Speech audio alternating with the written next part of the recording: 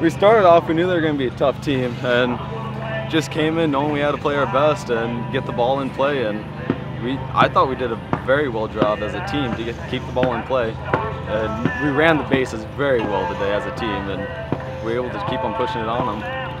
It was a great game. I know it, probably in a couple hours my arm will be hurting, but I feel great right now. Gosh, we, I felt like we were good enough last year and we didn't make it. And it, this is my last year here, and it feels great to make it. So. Is there any extra pressure, any extra uh, feelings that you have because it's your last year? Yeah, at first there was, but gosh, once you get on the field, it just all goes away, and you just play your game as best you can. And I thought we did well as a team today. Ken Holland strikes out to end the game. Redfield post 92 wins over Madison post 25, 6 to 1.